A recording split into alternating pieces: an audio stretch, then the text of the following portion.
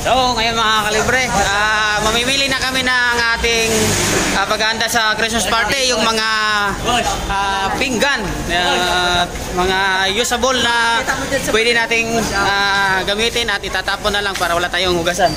So, ito yung mga tropa natin, boy calibre, mga boy calibre ito. Ito yung magluluto ng ating mga makakain. So, mga nasa I- iMart kami ngayon, mamimili kami. Ito yung ano namin.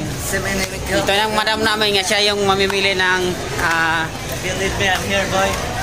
siya yung mamili ng mga kailangan naming bilhin doon sa Panakot. Panakot may tawag doon. Mga Ricardo. Yun. Dito dahil. Mga Ricardo. o, ito yung mga alalay ko. Sila yung magluluto ng baboy. O, marami tayong ano, ano nang tawag nun? Ah, putahe. putahe. Marami tayong putahe. Ah, ito mga kalibre, nandito na tayo sa mga usable, usable mga plastic. So bibili din tayo mga plastic na kutsara, tinidor. Kung mayroon tayong lagayan din ng ulam, bibili tayo para makikita din ng mga tropa natin. So yung ano natin, yung dessert natin, pwede yan no, Vero? Dessert, ganun. Yung may cover dapat, no? Na. Yung maliit lang na dessert, yung may cover. Yung cup. So, marami kaming bibilin ngayon. So, ito para to sa party natin para maging masaya yung party natin mga kalibre. Oh, 50 pesos ang laman nito. Magka, magkano isang ganito? 50 daw. 50 pesos din? Wala 24. Na 24? Oh, pwede na. Wala discount, marami. Oh, walang discount. Ilang piraso ba niya? Ano, Nasa 200 piraso? Ito ngayon yung suka, guys. Ayun, doon ka na naman Sa kutsara. sponsor for suka. Ito lang yung nabili natin ha. Ito yung mga lagayan ng ulam natin. Tapos ito yung mga kutsara, tinidor, tsaka itong pambalot ng ulam, tsaka ito yung ano natin. So mga baso, pwede tayo magkape, pwede ta mayroon din tayo pang dessert dito. So ito, at inuman yan tubig para doon sa alak na ah, baso para sa alak. So ito yung ano natin, sponsor sa pagbili ng mga gamit. Dito naman tayo ngayon sa iMart dahil marami pa tayong bibilin. Marami tayong kulang doon sa pinuntahan natin sa market. Kaya pasok muna tayo dito sa iMart. Tara! Siyempre, dito na tayo ngayon sa cashier. Nagbabayad na tayo sa ating mga kinakailangan na binili. So, malaki, malaki. Madami tayong ginagastos ngayon dahil sa Christmas party. Pero enjoy naman. Enjoy naman pagkatapos ng Christmas party. So, mga kalibre, ito na yung nabili natin. Mayroon tayong uh, biniling styro para dito sa ano natin. Yung dessert. Nalagyan natin to ng dessert para hindi masira. Ito. So, nandito na yung mga iba nating gamit. So, ayan o. Siya yung namili ng bibili natin.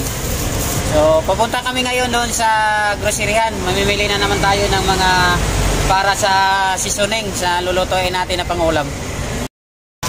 So, nandito kami ngayon sa groceryhan mga kalibre para bibili tayo ng mga kape saka mga ingredients doon sa ating mga gagawing ulam. Ito mga Alaska para magiging masarap yung pagkain natin mga kalibre. Ito yung mga kasama ko nag-una nakain.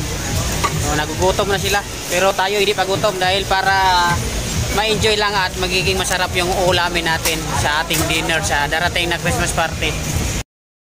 So ito mga kalibre, binabayaran na namin yung mga order natin para doon sa Christmas party natin. Shout out kay James Pack, siya yung nag-asikaso ngayon sa binili, binili natin para doon sa Christmas party natin. Guys, yan ang resibo natin, oh, napakahaba oh. Yan, napakahaba resibo. Tara. Kukunin na natin yung ating pinamili. Sige, buksan. Ah, yan, ito na yung pinamili natin, no. So, karga nyo na. Ipasok nyo na. Oh, dandaan lang, eh. Masisira yung ano natin. Pinamili natin dyan para yan sa Christmas party. So, yan, marami yan mga kalibre, ha. So, kulang pa yan. Kulang pa. Ah. So, kulang pa yan, yo. Carton-carton siya, oh. Oh, dami, dami natin pinamili mga kalibre. Para sa Christmas party natin to.